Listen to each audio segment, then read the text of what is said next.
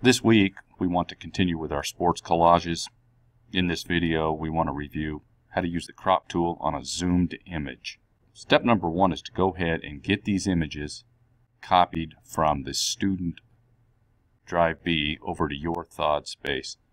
So once you get over to drive B, you'll find the images folder, soccer, and we want to get the Butte Valley game.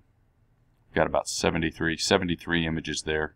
Lisbeth did a nice job getting these images. And then open up uh, some of these in Photoshop that you choose to use. We'll go into Photoshop following your copying of these images. Go ahead and bring up one of the images. I'll start with this one right here. Now, in addition to all the other things that we've done with the images, you can certainly do that. In this video, we just simply want to use the zoom tool, shortcut letter Z, or click on the magnifying glass and bring that image in. I'm clicking the mouse and then you can also move it into position with the wheel.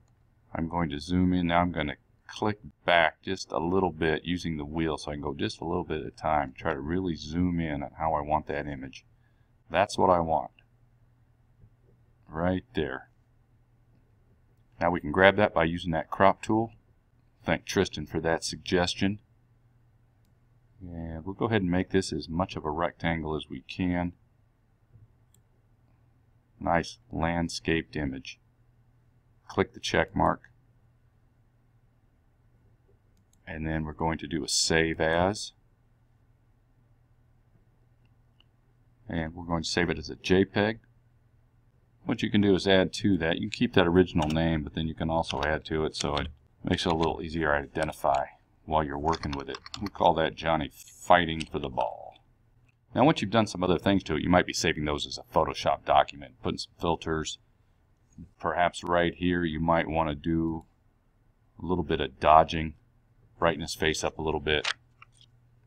All those things we've been doing for the last seven weeks you could apply to these images before you put them into your collage. But once you do do that, make sure you save it as a JPEG so we have that version of it. And that would be the version you'd want to put into the collage JPEG image. Photoshop Images allows you to keep making changes to it, adding and deleting layers. Let's do one more.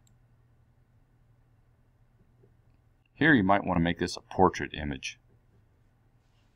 Zoom in.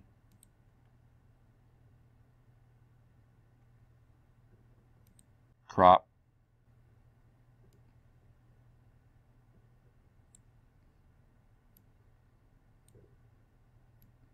Save enough so that you can do some nice erasing when you're doing your collages. Don't want to make it so tight that something like that. You want to avoid that. It's just a little too much. You always definitely don't want that. You need a little bit of headroom. You got to have space when you're making those collages, doing your erasing and blending the layers together. So always leave some space. You even need a little bit more over here. And there we go. And then of course save it. And then you go to work using these in a nice soccer collage.